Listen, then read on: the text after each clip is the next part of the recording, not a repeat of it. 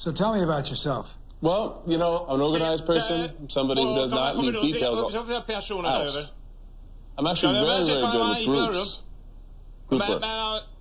Mm-hmm. I've surpassed all my goals my previous position, my prior job, and your competitor. My personality and me have surpassed their own goals.